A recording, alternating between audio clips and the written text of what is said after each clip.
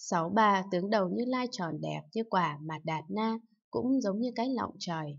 Sáu tư, lồng thần như lai xanh biếc sáng sạch, như lông cổ chim công, như trang sức lụa màu đồng đỏ. Sáu năm, âm thanh thuyết pháp của Như Lai tùy theo chúng sanh lớn nhỏ, nhưng chẳng tăng chẳng giảm đúng lý không chấp trước.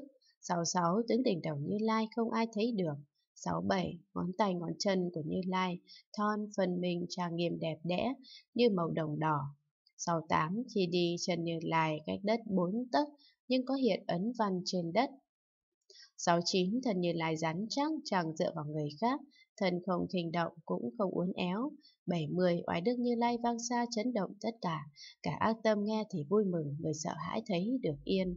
71. Âm thanh của Như Lai, tùy theo ý chúng sanh mà ban lời hòa nhã, vui vẻ, chẳng cao chẳng thấp. 72. Như Lai thường tùy theo ngôn ngữ và ý muốn của chúng sanh mà thuyết pháp. 73. Như Lai thuyết pháp cùng một âm thanh, nhưng tùy theo căn cơ của mỗi chúng sanh đều hiểu được cả. 74. Như Lai thuyết pháp theo thứ tự, tất cả đều có nhân duyên, không lời nào không hoàn hảo. 75. Như Lai có chúng sanh bình đẳng như nhau, gặp thiện thì khen, gặp ác thì chê, nhưng không có sự ưa ghét. 76. Phàm làm việc gì Như Lai đều xem xét trước rồi làm sau, đúng theo quy tắc để người phân biệt một cách thanh tịnh hoàn toàn. 77. Tướng hảo của Như Lai tất cả hữu tình ngắm không cùng tận. 78. Xương đỉnh đầu Như Lai cứng chắc tròn đầy. 79. Dùng nhàn Như Lai trẻ mãi không già, lớp mới luôn thay lớp cũ.